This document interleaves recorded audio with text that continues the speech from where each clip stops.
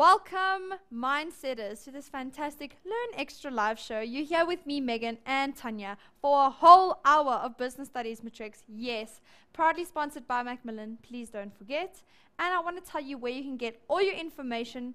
If you want to sit with the notes in front of you like a good student that I know you guys all are, you go to www.learnextra.co.za forward slash live and you get all the notes that we're going to go through right now. Or you can chat to me on the Facebook page while you're watching. Ask me questions, I tell them to Tanya, and then we talk about it and we can talk and we can help you. And that's at facebook.com forward slash learn extra. So I know you guys are so excited.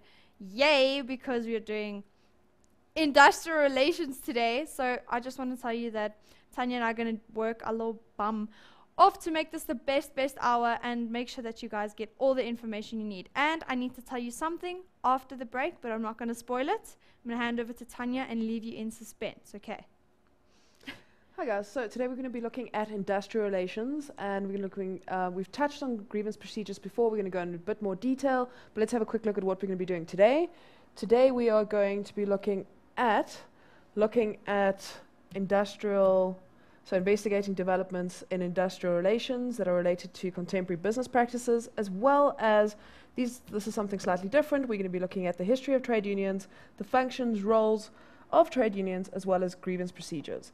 So, the first thing we're going to be doing today is just having a general quick look at what is industrial relations. Remember, um, last week we looked at human resources, so this is just another function onto this. So, what is industrial relations or IR? So, first part industrial relations covers the relationship between management and employees and how they interact and through which they regulate conflict in the workplace. Now, as I was reading this, you can remember, well, I hope you remember back to when we were doing legislation, and you can think back to the Labour Relations Act, and that act is basically put into place to regulate the relationship or the interaction between employers and employees. So, industrial relations goes hand in hand with labor relations. Let's do let's look at one more thing with this.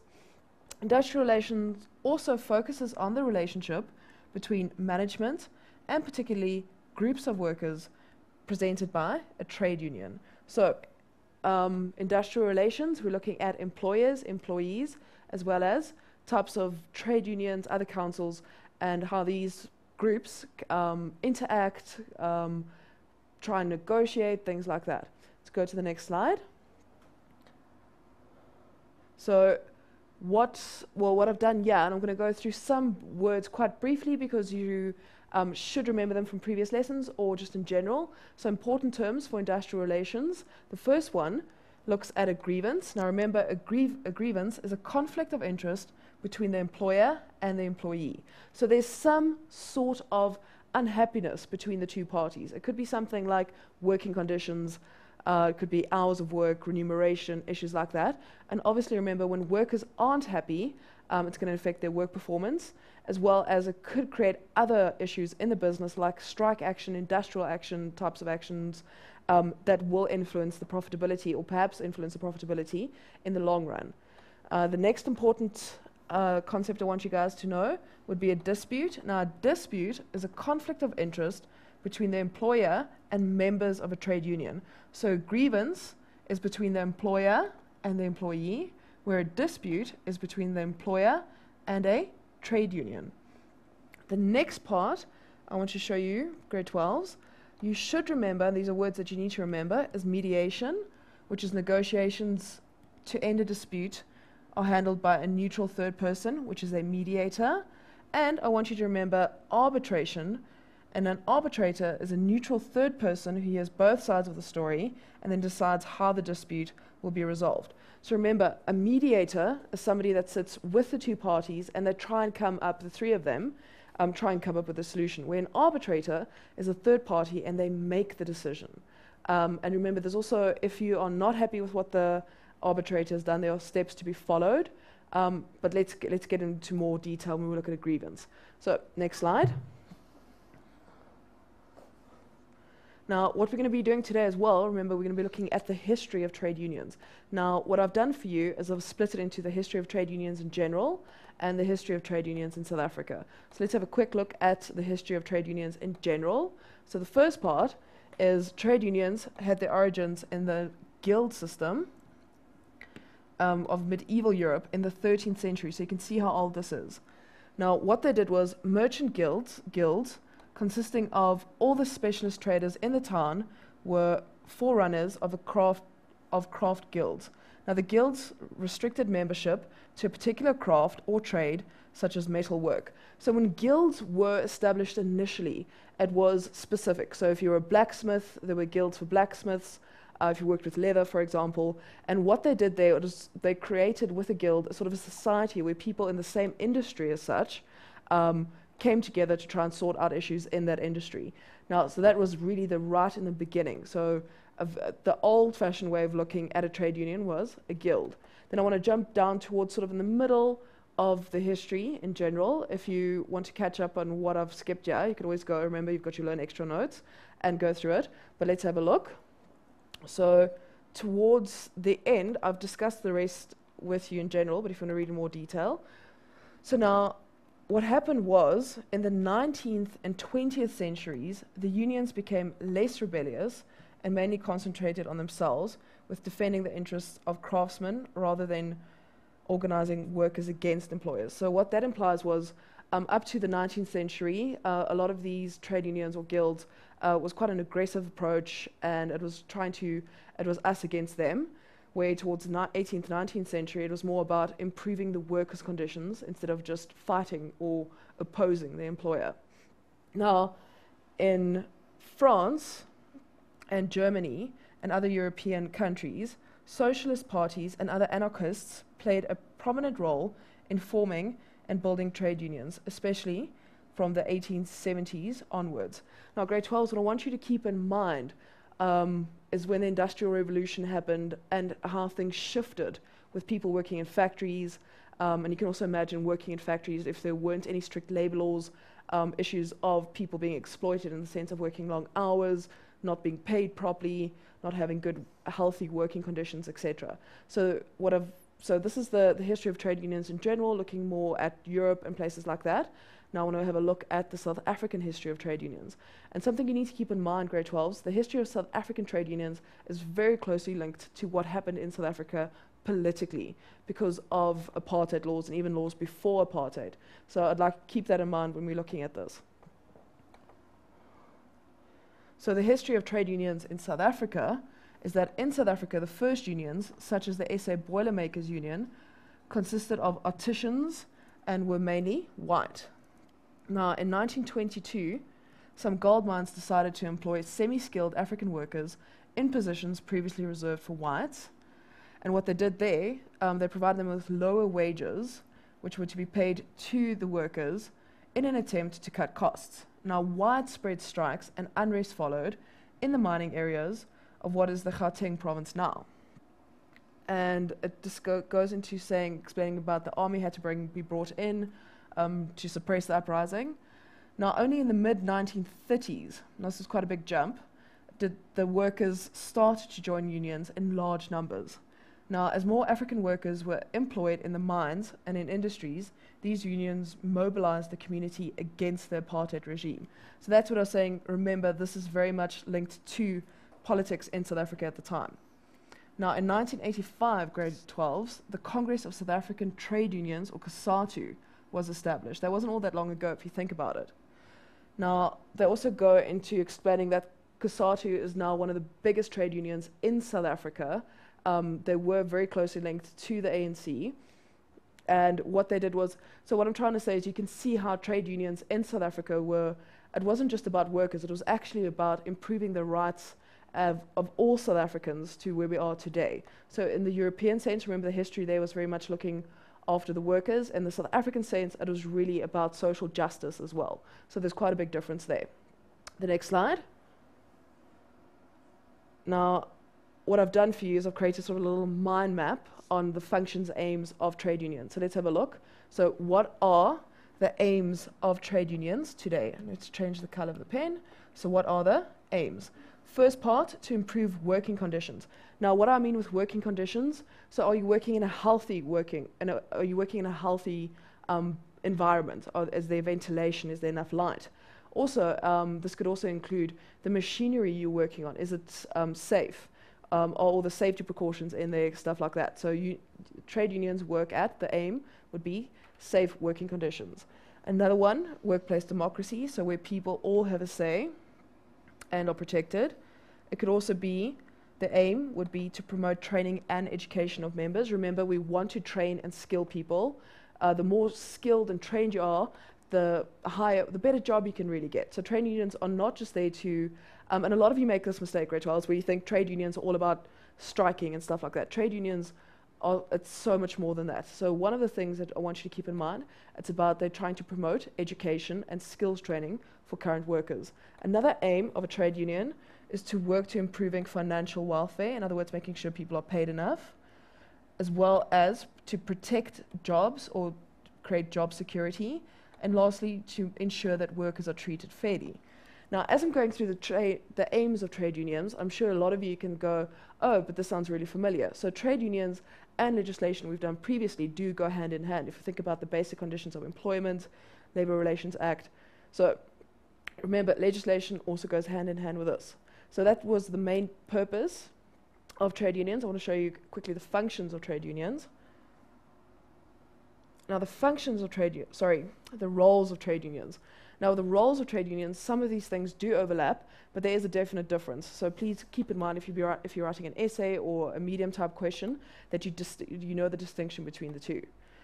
So the first role is to prevent retrenchments. Remember, the word retrenchment is when people, when businesses aren't being very profitable and they need to cut costs by letting employees go. So trade unions, a role they play is trying to prevent people from being retrenched.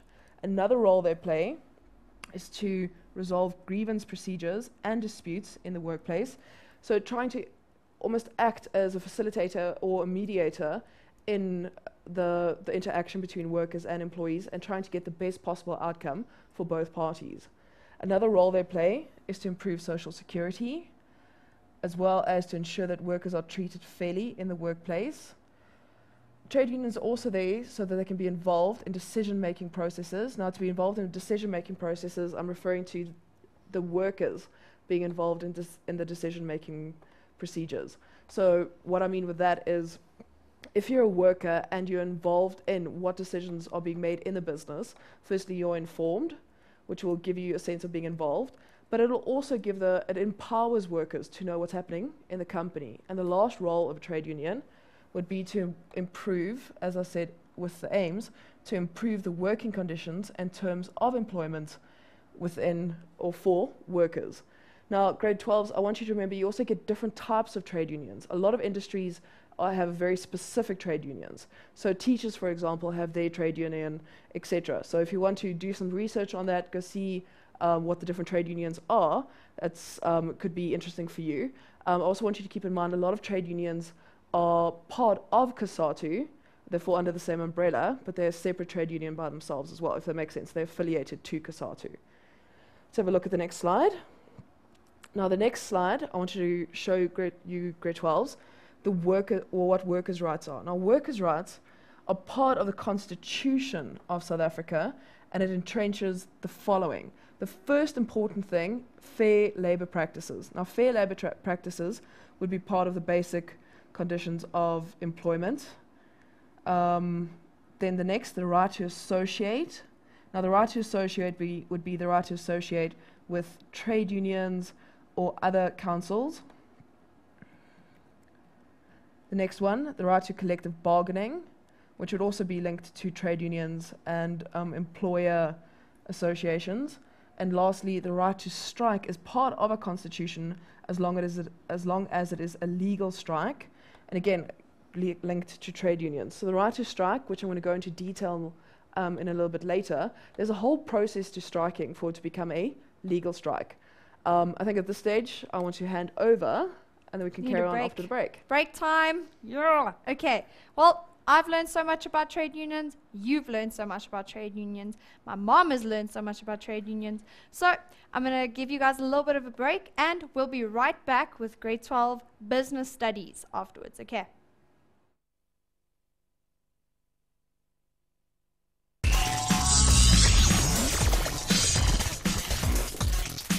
Welcome back, grade 12. So, remember in the beginning, I told you that I have something to share with you, and it's something really special, and it's something that we've decided to start here at Mindset, which is a competition. Yes, you can win free tickets. Okay, so let me tell you what it's about. It's called After Earth. It's a competition that we've been running now. We're going to run for three weeks. It includes Will and Jaden Smith. It's their movie that they're going to come out. It's coming out the 7th of June. So what we want to do is we're going to give a keyword each show. So this show has a keyword. I'll tell you it now. And if you want to go and register so you can win two tickets so you and your friend can go and watch the movie together, so sweet.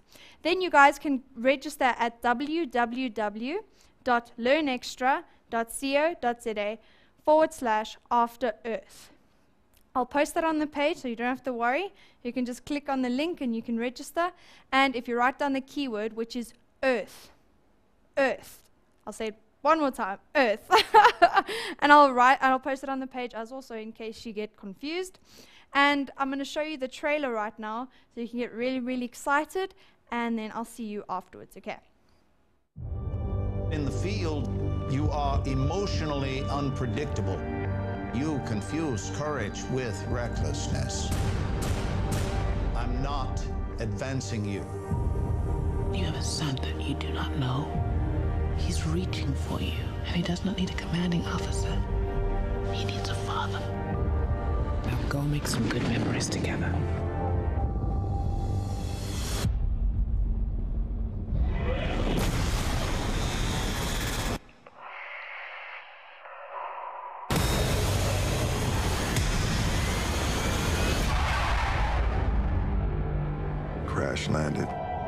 Two confirmed survivors. Do you know where we are? No, sir. This is Earth. There's an emergency beacon in the tail section of our ship, approximately 100 kilometers from here. We need to retrieve that beacon. Or we're going to die. Everything on this planet has evolved to kill humans. Together, we will survive. I hear something. It has found you. We must abort this mission. You wouldn't give any other ranger that order. You are not a ranger. You are my son. Remember, danger is very real. Fear is a choice. If we are going to survive this, we fight.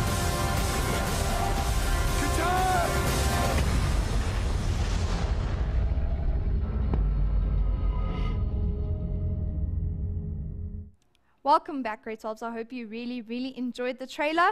And I know where I'm going on the 7th of June to watch that movie. So if you would like to win two tickets, yes, two for you and your friend, please go enter the competition. And the word is earth, the keyword for you, grade 12s. Okay, well, let me hand over to. And then let's get fini- blah, let's get finished with business. I'm nowhere now. Sorry. Let me just repeat that. Let me hand over, and then we'll get finished with business studies, guys. Let's go. So before the grade 12, before the break, grade see, 12s. it's something now. I don't know what is going on. Before the Tanya, break, we nowhere. I'm sorry, but yeah, so we, we are now. So before the break, we were looking at the roles and aims of trade unions. We briefly looked at the history of trade unions. And all these things are quite important, grade 12. So make sure that not only do you know what the roles and aims are, but you know the difference between the two, as well as um, it can get a bit tricky if you're asked to relate it to the different types of legislation. So always try and, when you read this, try and link it to it. Now, what I've also done today is I've taken the Labor Relations Act, uh, which we've briefly looked at before, but I've done it now in a lot more detail because this is very important with industrial relations, and just take the key things that are related to the IR or IR. Now, the first part here, the Labor Relations Act, or L- LRA, spells out the employers and trade union spells out that how employers and trade unions should function together. So the Labor Relations Act is literally an act that focuses on how employers and employees and trade unions all function together. And remember, um, being part of a trade union is a right as a South African, and it's, it's actually a lot of time encouraged because trade unions will protect you as an employee. Now let's have a look. Let's, let's, let's have a look at the next part. I'm telling you, there's something now that is with us. We can't speak. um, well, Great Charles, I promise you I'm going to try really hard. so remember, we're busy with the LRA. Now, this also provides a set of rights and a framework for union organizations, collective bargaining, and resolution of disputes and strikes. Now, if uh, some of these words were a bit fuzzy, remember I gave you a nice breakdown of keywords in industrial relations. So go back, have a read, and make sure that you understand fully what these different terms mean. Uh, the LRA also looks at, or part of this, is that the Commission for Conciliation, Mediation, and Arbitration, or the CCMA, and the Labour Court were established by the Labour Relations Act. So the Labour Relations Act put those together to help workers. Now, these two bodies also help to ensure fairness and justice in the workplace. Now, what I've done for you here is this is quite important, grade 12s. The LRA includes provision on the following. So, the first one, freedom of association. So, this could also include, with the freedom of association, association would be with different people, different groups, but also freedom of association to belong to a union. Next one, organizational rights. Se uh, third one, strikes. And like I said, there's a whole procedure to strikes, grade 12s, so let's wait for that one. Next, protective action to be protected against unfair dismissal. And lastly, no unfair labor practices. And no unfair labor practices would also link to basic conditions of employment. Remember, working hours, remuneration, things like that. Now, let's go to the next slide. What I've done here is I've taken down, remember, with the Labour Relations Act, it takes into account that workers are allowed to go or to take part in industrial action. Now, industrial action is basically um, an umbrella term for different things that workers can do to try and put pressure on their employers. And remember, these things need to be done through a trade union and for it to become a legal industrial action as such. So the first one, and the one I think we all know very well as South Africans, is strikes. So what is a strike? So a strike is an organized stay away action from the workplace to try and convince the employer to attend to employees' grievances. However, employees do not get paid for the time they are on strike. In other words, no work, no pay. So a strike, grade 12s, is literally an industrial action where people do not go into work. Um, the problem with that, well, first off, you can imagine that puts a lot of pressure on the business, bad publicity, but also production might be stopping. And on the other side, for employees, if they are not at work, obviously they're not going to get paid. So it's, it's quite an aggressive form of industrial action. Another form of industrial action would be a go slow. Now, a go slow grade 12s is when employees work at a slower rate and it has a negative influence on production and I would also say productivity. And then they use this method to bring their grievances to the attention of the employer. So go slow um, compared to a, a strike would be I go into work today, but I literally work really, really slow. Or your students work like really slow and they Yes. tell you, no, we're not in the mood for business today. But And that, that- would never happen. No, not with business. And remember, go slow. It's, it's not really worth it. No. Why would you want to do that to yourself? Then you're li- you're missing out, and she's just like, okay, well, I know everything and you don't. So, win lose situation. Believe me, don't do that. But again, I- in a business perspective, this would put a lot of pressure on the company because Yeah. your workers are there and they technically are performing, but they're not performing To the best of their ability. ability. And remember, the key word there, grade 12s, would be productivity as well as um, being efficient. Okay, and this will, in the long run or in the short run, um, affect the profitability of the business. So this will really force employers to a large extent to come up with some sort of resolution. And the last type of industrial action would be picketing. Now, picketing is the is a procession organized by trade unions where employees can demonstrate about their grievances in a peaceful manner. So this would picketing would be um, like like I've written here for you. It's a demonstration in a peaceful manner. So it's people walking through the streets of um, Joburg, um, having big posters up saying why they're unhappy, and just making people aware. Now, while I'm on this topic with industrial action grade 12s, remember there are two sides to it. So this could be, remember, why do workers go into industrial action? Because they want to press an issue with their employer. It could be um, remuneration or money issues, could be work time, stuff like that. Now, on the one hand, that is good to make sure that employers are being or are treating their employees fair. But on the other hand, grade 12s, you also need to remember that these actions um, can also, well, they do influence the business where the business loses money. And if you think about it in the, big, in the economy of South Africa as large, it has a very negative impact on our economy. So both trade unions, employers, and workers need to be very mindful when doing these things um, as to not have a very destructive effect on the whole economy. The next slide I've got here looks at what the grievance procedure is. Now, remember earlier I spoke about if employees are unhappy, there's a way of going about making sure your employer um, is aware of what's wrong. Now, remember, um, before I got to looking at what the industrial action types are, remember the go slows, etc., what an employee would do before they go into industrial action, they would actually have to submit a grievance form stating what the issue is. So let's go have a look at the grievance procedure. The grievance procedure starts off with all businesses have employees who are not satisfied for different reasons. It could be working hours, remuneration, etc. Now, this usually results in a conflict of interest between the employer and the employee. The conflict of interest would be I would, for example, as a worker, I want more money. The, on the other side, the business is going, we can't afford to pay you more money. So that would be a conflict of interest. Um, now, these grievances must be resolved correctly as to prevent further disputes. And lastly, these procedures give employees the opportunity to communicate their grievances in a or to management. So I sort of skipped around now. So that is just what a grievance procedure is. This is the actual grievance procedure now, guys. Now, and what I've written here, it's bottom up. And this is basically what I'm trying to state is this is from um, the worker up to management.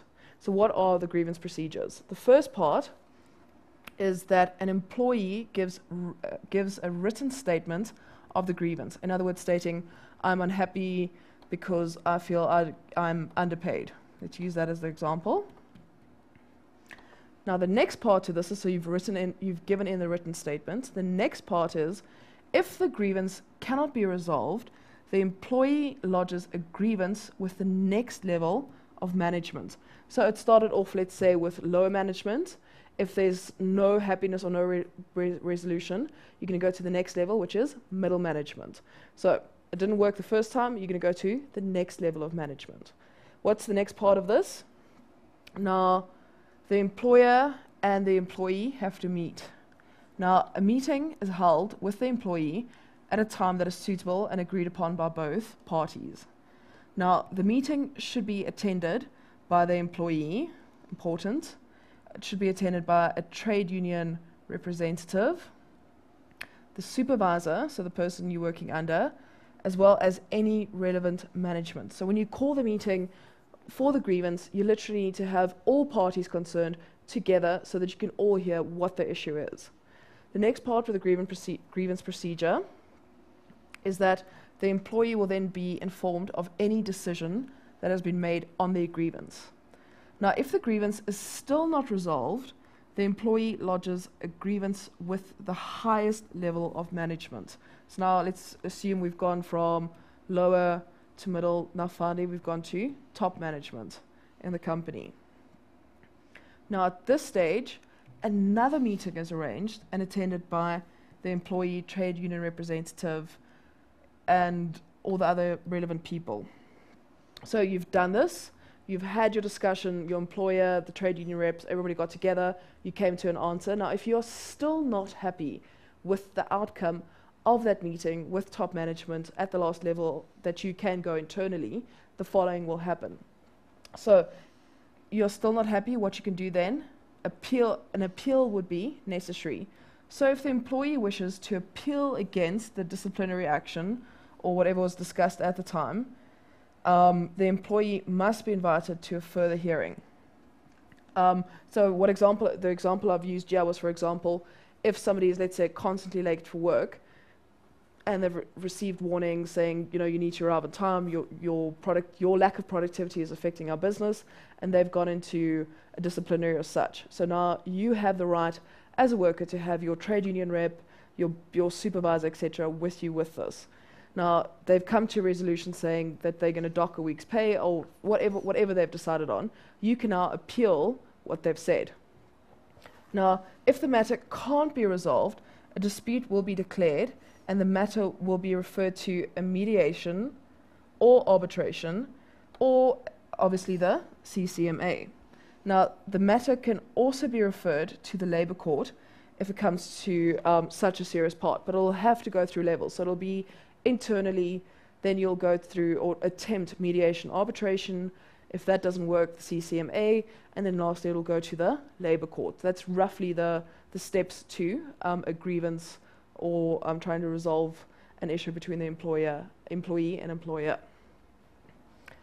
Now you'll see on the next, oh, there we go. I've explained quite a bit today and I've got some time, which is really cool. So we can get to the question. Yes. okay, so grade 12s, this is the time you all know what I'm going to tell you. I want you to grab your highlighter, grab a pen, so that you can highlight with me and we can all keep on track of what's going to happen in this case study. Also, um, thanks to Macmillan, you can follow in your textbook, if you have the textbook, with me. So you can go to page uh, 203 and it's activity 4 and we're going to be looking at this activity together. So, pens, papers, highlighters. Let's have a look through this case study. Now, LJR Frozen Food Manufacturers. Now, the workers of this company, who belong to the South African Commercial Catering and Allied Workers Union, have finally had enough of being treated badly at their workplace. So, that's sort of one issue. Now, the rules and regulations of the Basic Conditions of Employment Act are not being followed, and several workers have been dismissed without the proper procedure being followed. Here's another issue. Now, the factory supervisor, let's move this up, the factory supervisor, Joel, is very abusive towards the workers, three, and yesterday he refused Patience, a worker in the factory, time off for work to attend her sister's funeral another issue. Now, the workplace is dirty and some of the mach- machinery is unsafe. Another issue, as I write a number next to grade 12s, you know these are issues I'm picking up um, within the case study. Now, the workers also don't receive wage slips and do not know what deductions are being made. They got together after work and discussed what their next move should be. Nomsa, who is a food packer, suggested that they should call a strike. Now, she believes that this is the last resort to get senior management to pay attention to their grievance and to change their attitude towards the workers. Now, they've tried many previous ways of um, trying to address the grievance with Joel, but nothing has happened. Now, the workers called on their shop steward. Um, wait, wait, grade 12s, before I carry on the, with the last bit of this case study, please don't don't move. Don't go get water. Don't do anything. Literally freeze where you are. We're going to go for a quick break. Ad break. Okay, no problem. Freeze, and we'll be back right after this ad break. Grade 12. Don't go anywhere.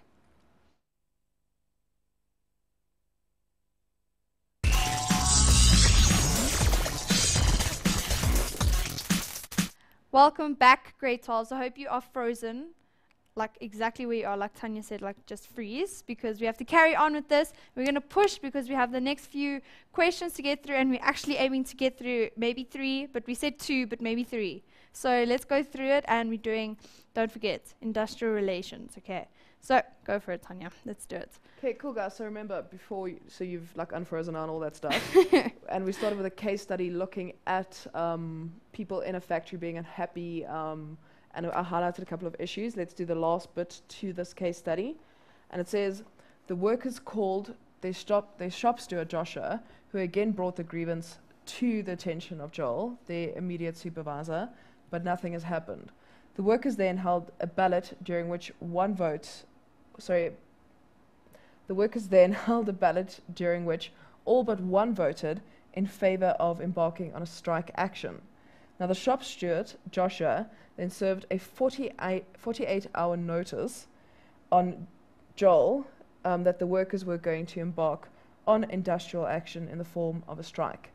Now, grade 12s, what I want you to um, keep in mind, yeah, if you look at everything from the employer side in this case study, that they were doing a lot of stuff um, wrong. And not literally, it's not just an ethical profession issue, it will literally be against the law according to our labour laws. And if we look at what the workers were doing, um, they were following grievance procedures properly, because remember, they took the grievance to one level of management and worked up to it. And also, grade 12s, with a strike action or any industrial action, you need to give 48 hours or two days notice. So let's look at the first question. The first question asks us Is Nomsa's suggestion, so is Nomsa's suggestion appropriate? Explain your reasons. Now, I'm going to move the page down. So, first off, grade 12s, without thinking about it, yes, her actions were correct.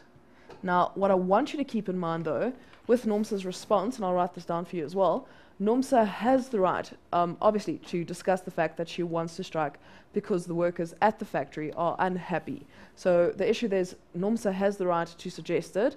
On the other hand, Nomsa does not have the right to just say, right, we're going to go strike tomorrow. There's proper procedure to be followed with that. So let's quickly get this right. So the question was, does Nomsa have the right to suggest this?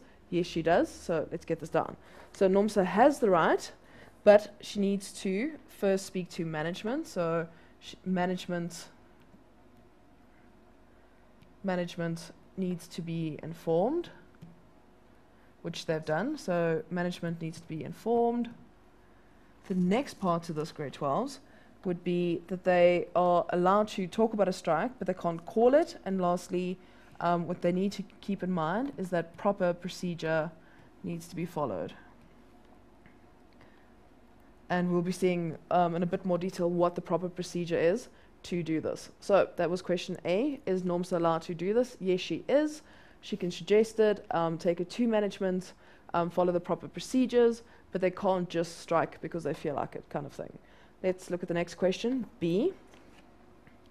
It's asking us, with the section on LRA in this unit in mind, and your knowledge of this in Unit 3 and 4, which we've gone through together, grade 12s, decide whether the workers have the right to strike, and then they ask you, yeah, try to conduct further research into LRA to get more detailed information on strike action and procedures. So with question B, grade 12s, they're asking you, um, this isn't a typical exam question as, as such, but they're asking you, are the workers are they entitled to strike and what would the procedure be?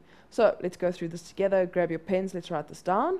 This will give you a good idea on what the procedure is. So for question B, so the first part here, we have, what I want you to keep in mind is, as South African workers, strike action is allowed in the Constitution. So yes, the workers are definitely allowed to do this. And the next part, uh, basically, so I've jumped the gun here again. So what this question was asking is that decide whether the workers have the right to strike. So you said yes, they have the right to strike. And basically, if we go back to the notes that I did on the LRA, it is broken down in there. So I don't want to waste time writing all the stuff down you can print out for yourself. Let's go to the next question. So C, we're looking at what are, this is the one I was jumping to. C, what are the steps to be followed by the workers in order to call a legal strike?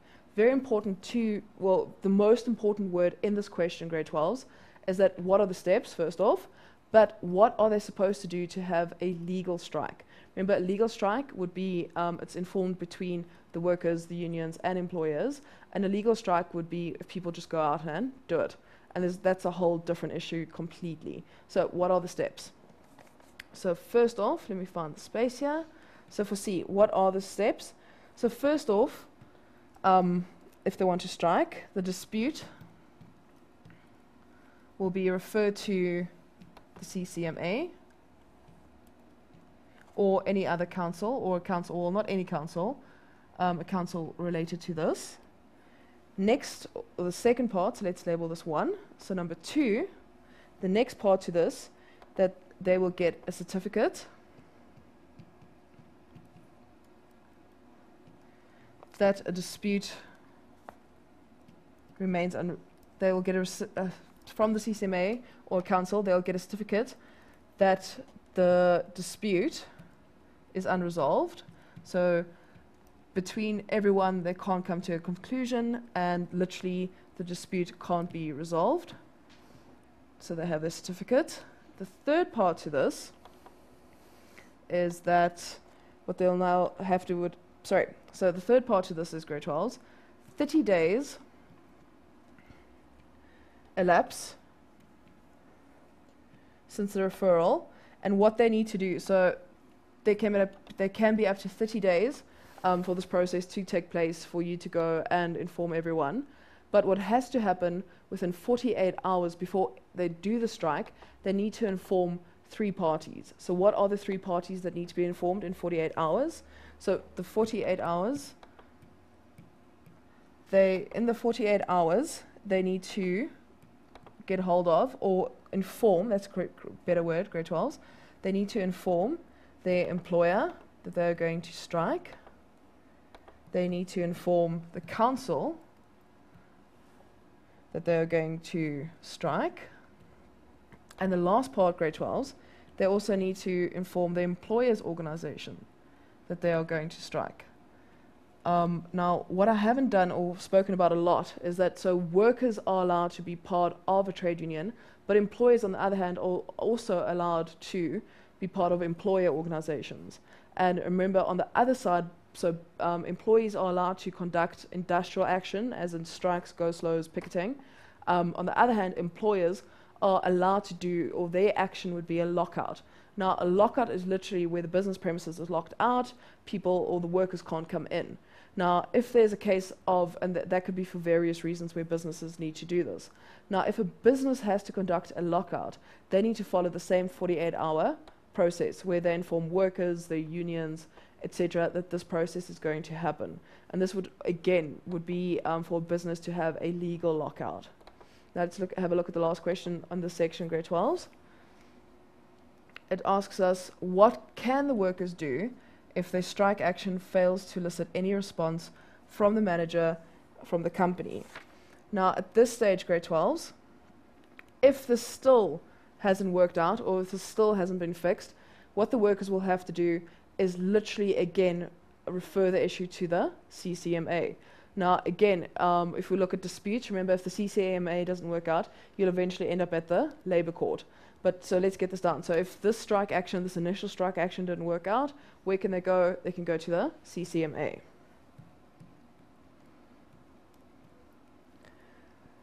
Now, what we're going to do, yeah, grade 12s, again, I've got another case study here. It's a little bit long. It's, it's, it's not long, it's about a medium type thing. I'm going to read through it really, really quickly so you've got reference to what I'm speaking about. If you've got your textbook, all you need to do, grade 12s with Macmillan, go to page 206. It's literally the next activity.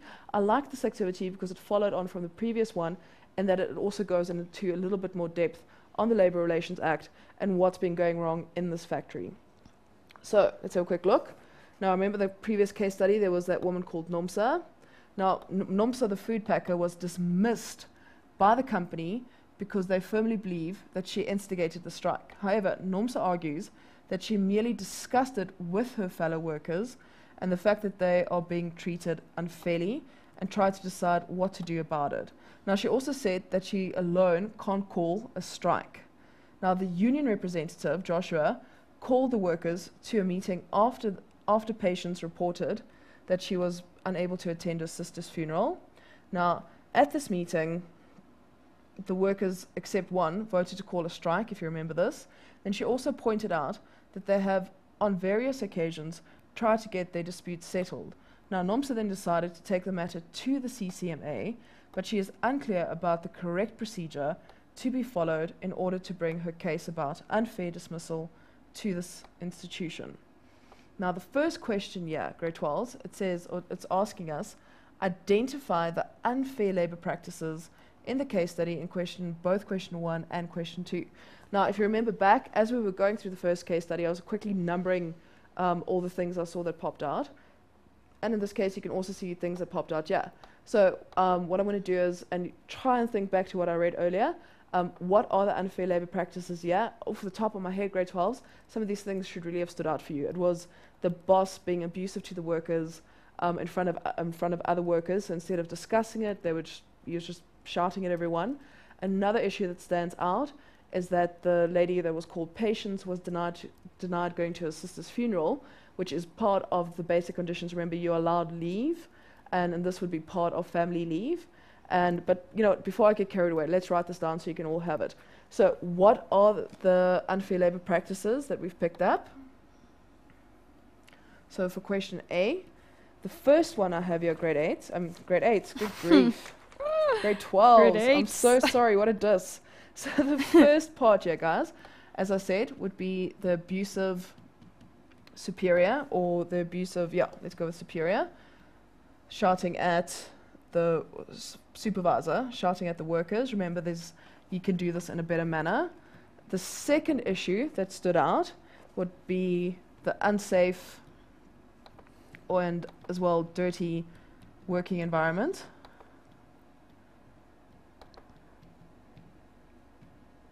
Uh, let's do two more. Um, another issue that I picked up would be refusing that lady family um, family leave or family responsibil- family responsibility leave. So refusing the lady to go to her family uh, to her sister's funeral.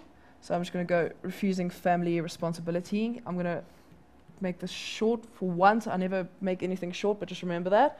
Now remember, guys, you get different sick days. We've looked at this in the past. So you have a number of sick days allowed.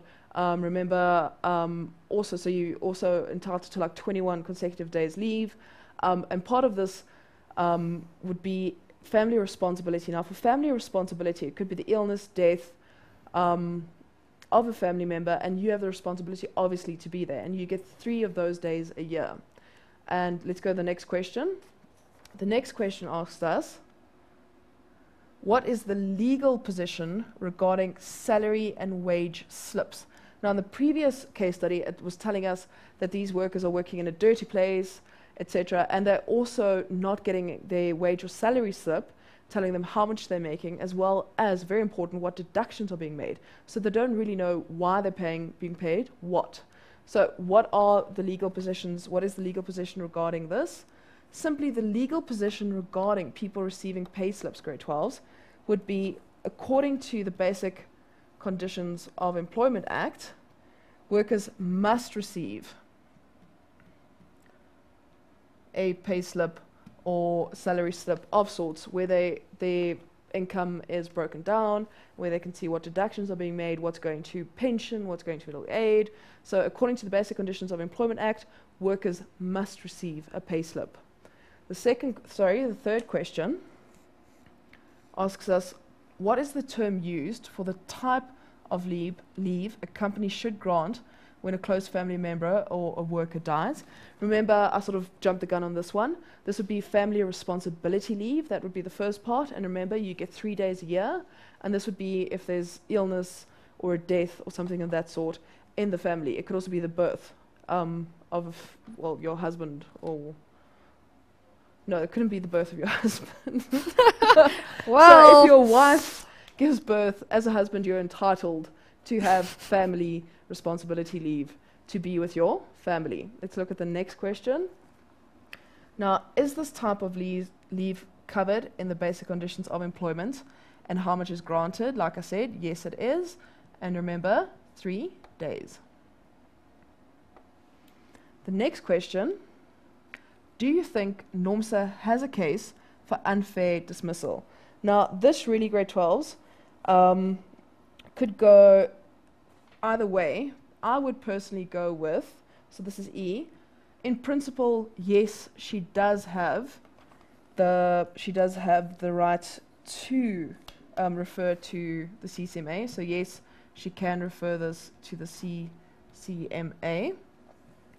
And remember, what I want you grade 12 to remember: employers can't fire workers without giving them a proper disciplinary hearing.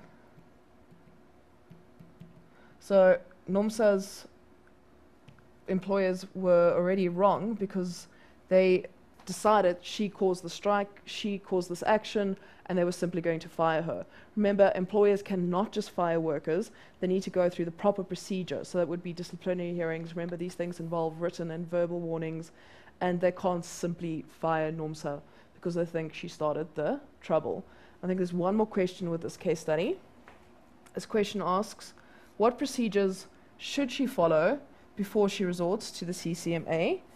And what I've got here, and it's, you can write this down with me, what she needs to do, and what she's trying to do, um, is try to resolve the dispute internally.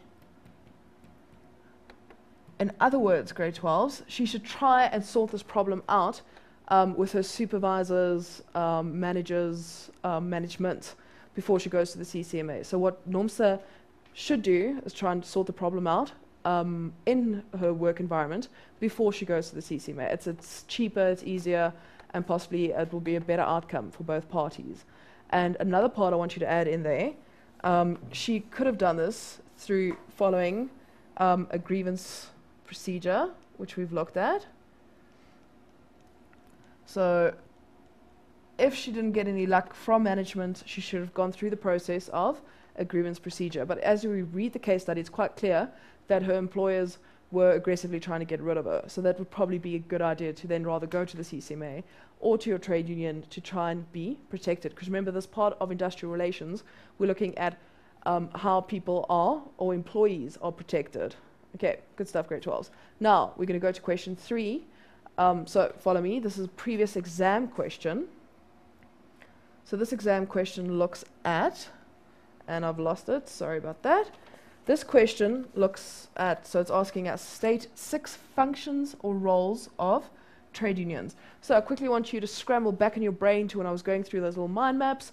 What are the six, or what are the six functions or roles? So let me quickly jot them down for you. And as I put them down, I hope you remember them. So the first one would be collective bargaining.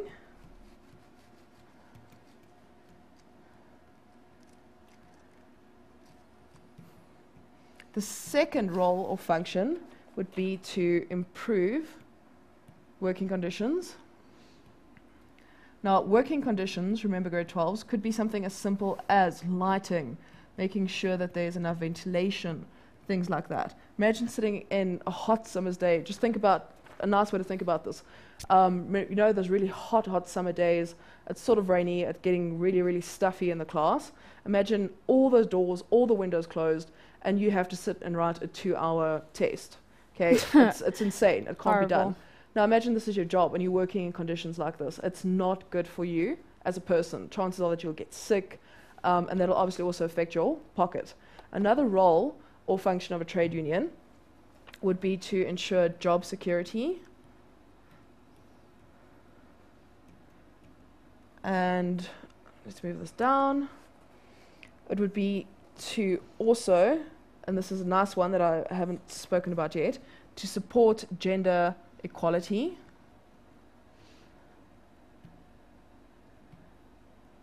So part of the trade unions, grade 12s, would be looking after the, the rights of workers in the sense that they're being treated fairly.